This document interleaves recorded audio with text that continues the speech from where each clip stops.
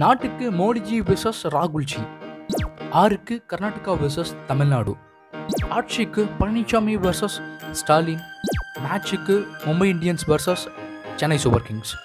இந்த வரிசையில் இப்போ வர போகிறவங்க இவங்க யாருக்குமே சலைச்சவங்க இல்லைங்க. இவங்க இல்லைன்னா கிளாஸ் எடுக்கிறதுக்கே தோணாது. ஆனால் இவங்க இருந்தாங்கன்னா கிளாஸ் எடுக்கவே முடியாது. அப்படிப்பட்டவங்க தான் இந்த last benchers versus first benchers இவங்கள பற்றி தான் இனக்கான வீடியோ தெரிஞ்சுக்க போகிறோம் ஸோ வாங்க இனக்கான வீடியோக்குள்ளே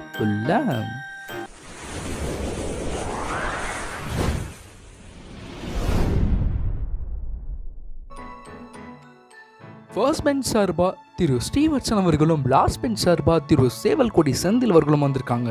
இவங்க கிட்ட நம்ம ஃபர்ஸ்ட் பெஞ்ச் மற்றும் லாஸ்ட் பெஞ்ச் பற்றி கேட்டு தெரிஞ்சுப்போம். சார் ஃபர்ஸ்ட் பெஞ்சை பற்றி நீங்கள் சொல்லுங்கள் உயரத்தில் எவரெஸ்ட் எப்படியோ ஆழத்தில் மரியானா ட்ரென்ச் எப்படியோ அதே போல தாங்க ஃபர்ஸ்ட் பெஞ்ச் ஃபர்ஸ்ட் பெஞ்ச்னாலே கெத்து தாங்க. இந்த ஃபர்ஸ்ட் பெஞ்ச் கூட போட்டி போடுறதுக்கு யாருக்கும் கட்ஸ் கிடையாதுங்க. இவங்க சும்மா பேசிக்கிட்டு இருப்பாங்க வந்து பேசிட்டு போட்டோம் போங்க. இப்போ நம்ம சேவல்குடி செந்தில் அவர்கள் கிட்ட லாஸ்ட் பெஞ்ச் பற்றி என்னன்னு கேட்டு தெரிஞ்சுப்போம். சொல்லுங்க செந்தில். லாஸ்ட் பெஞ்சை பற்றி நீங்கள் சொல் நீங்கள் என்ன சொல்ல விரும்புகிறீங்க இந்த டாப்பிக்கே எனக்கு ரொம்ப பிடிச்ச டாப்பிங்க last bench versus first bench ரொம்ப நாளாக நான் பேசணும்னு வெயிட் பண்ணிக்கிட்டு இருந்த டாபிக் இப்போ ஸ்டார்ட் பண்ணுற பாருங்க. ஃபர்ஸ்ட் பெஞ்சில் உட்காந்துக்கிட்டு நீங்கள் நோட்ஸ் எடுக்கிறதுக்காக பாடத்தை கவனிச்சிங்க. நாங்கள் நல்லா தூக்கம் வருமேன்னு பாடத்தை கவனிச்சோம். அப்சர்வேஷன் நோட்டையும் ரெக்கார்ட் நோட்டையும் அசைன்மெண்ட்டையும் எழுதின உடனே முன்னாடி கொண்டு போய் வாத்தியார்கிட்ட நீட்டுவீங்க. நாங்கள் நண்பன் காப்பி அடித்து கொடுக்குற வரைக்கும் காத்துக்கிட்டு இருப்போம். பரீட்சைக்கு என்ன கேள்வி வரும்னு நீங்கள் யோசிச்சுக்கிட்டு இருக்கப்ப பரீட்சையே வராமல் இருக்க என்ன செய்யலாம்னு நாங்கள் யோசிச்சுக்கிட்டு இருந்தோம்.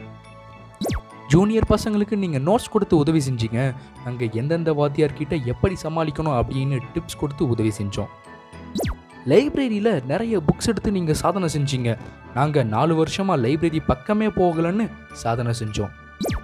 கேன்டீனில் சாப்பாட்டுக்கு லேட் ஆனால் ஐயையோ லேப் ஸ்டார்ட் ஆக போகுதுன்னு சாப்பிடாம ஓடுவீங்க.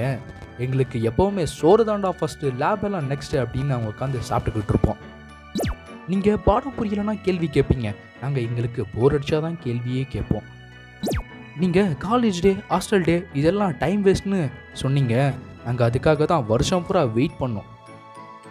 ஃபர்ஸ்ட் மார்க் வேணும் அப்படின்னு எக்ஸாம் டைம் டேபிள் வந்த உடனேயே படிக்க ஆரம்பிச்சிருப்பீங்க நாங்கள் பாஸ் ஆனால் போதும்னு பரீட்சைக்கு முத நாள் தான் புக்கையே எடுப்போம்.